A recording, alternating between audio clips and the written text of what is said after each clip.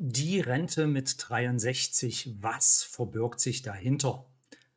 Mein Name ist Peter Knöppel, ich bin Rechtsanwalt und Rentenberater von Rentenbescheid24.de.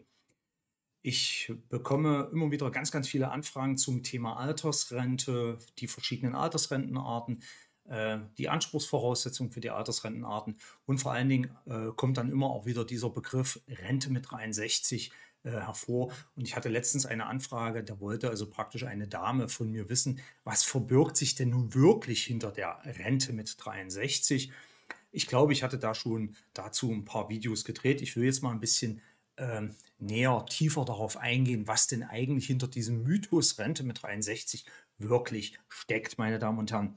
Ist es eine eigene Altersrentenart oder was für Altersrenten stecken denn eigentlich wirklich dahinter? Steigen wir doch einfach mal ein. Ich habe eine kleine Übersicht gemacht für Sie und dann schon geht's los. Gucken wir mal, ähm, ob wir hier Licht ins Dunkel bringen können. Also die Rente mit 63 ist ein umgangssprachlicher Begriff und stellt keine eigene Rentenart im Sinne des gesetzlichen Rentenrechts dar.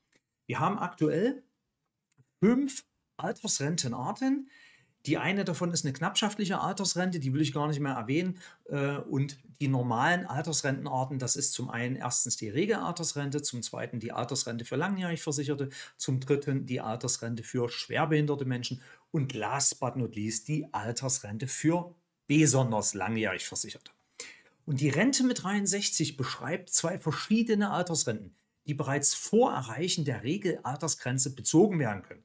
Das ist zum einen die Altersrente für langjährig Versicherte und zum anderen die Altersrente für besonders langjährig Versicherte. Ja, die zweite. So, steigen wir einfach mal ein in die Altersrente für langjährig Versicherte.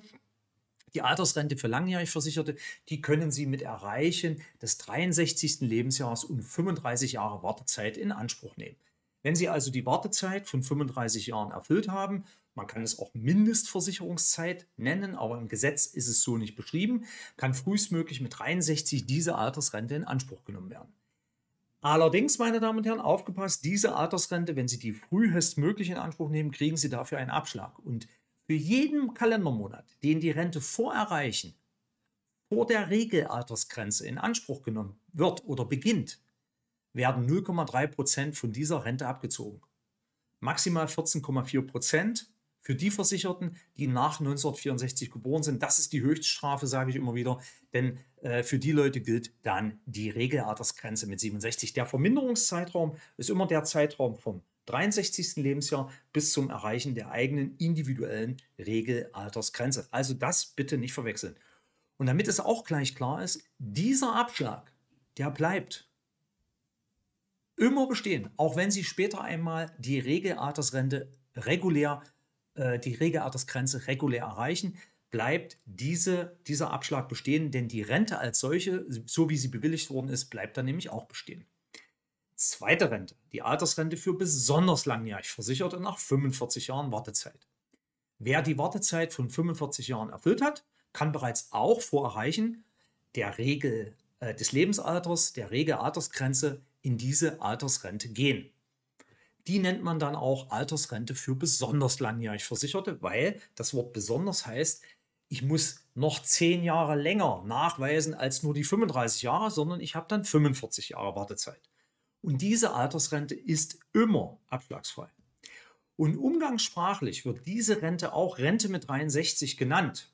Und der Hintergrund ist der, mit der Einführung der neuen Art dieser Beson der Altersrente für besonders langjährig Versicherte zum 1.7.2014. Das war die sogenannte Nahles-Rente. Ja. Ähm, sprichwörtlich hat ja die Frau Andrea Nahles von der SPD diese Rente, diese Art der Rente ähm, aus der Taufe gehoben. Konnten die Leute, die vor 1953 geboren waren, mit Nachweis 45 Jahre Wartezeit glatt mit 63 Jahren in Rente gehen. Das war aber der einzigste Geburtsjahrgang, äh, der dann auch wirklich mit 63 in Rente gehen konnte. Normalerweise müsste man eigentlich sagen, nicht Rente mit 63, sondern Rente dann ab 63, weil die Geburtsjahrgänge nach 1952 dann immer zwei Kalendermonate später äh, in Rente gehen konnten, je nachdem, wann sie geboren waren. Also der abschlagsfreie Renteneintritt äh, zum vollendeten 63. Lebensjahr ist praktisch für die Leute, die nach 1953 geboren worden sind, nicht mehr möglich. Wer zum Beispiel 1959 geboren wurde, der, der kann jetzt mit 64 Jahren und zwei Kalendermonaten in diese Altersrente äh, gehen oder diese dann in Anspruch nehmen. Voraussetzung ist wirklich 45 Jahre Wartezeit und entsprechend hier die, äh, das Lebensalter. Das Kernproblem ist also, dass ich hier für diese Altersrentenart zwingend zwei Voraussetzungen brauche. Ich brauche das entsprechende Lebensalter, ja, je nachdem, äh, welcher Geburtsjahrgang ich bin, und dann auch die 45 Jahre Wartezeit. Also ich habe ja hier dieses Beispiel schon mal genannt. Diese Altersrente können Sie nicht vorzeitig in Anspruch nehmen. Das heißt also, es muss neben den 45 Jahren Wartezeit auch das entsprechende Lebensalter vorliegen. Bitte eins auch nicht vergessen, die 45 Jahre Wartezeit sind nicht zwingend gleichzusetzen damit, dass Sie auch tatsächlich 45 ähm, Jahre gearbeitet haben. Das heißt also, wer zum Beispiel mit Vollendung des 16. Lebensjahres eine Berufsausbildung hatte und immer arbeiten war, der kann die 45 Jahre sicherlich erreichen. Aber ich kenne auch viele Fälle, die waren, äh, die haben dann zwischendurch mal eine Fachschule gemacht oder sowas. Die haben dann meistens Pech, die erreichen die 45 Jahre nicht, obwohl sie an sich vom 16. Lebensjahr bis zum 64. Lebensjahr voll durchgeackert haben.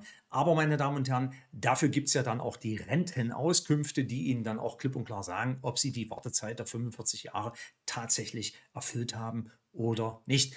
Also ich hoffe, ich habe Sie einfach nochmal ähm, äh, aufgeklärt zum Thema Mythos Rente mit 63. Was steckt eigentlich dahinter? Es ist keine eigene Rentenart.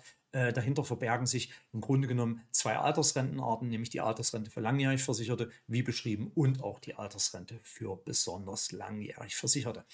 Näheres zu diesem Thema finden Sie wie immer auf rentenbescheid24.de. Ich wünsche Ihnen eine rentenstarke Woche. Ihr Rechtsanwalt und Rentenberater Peter Knöppel.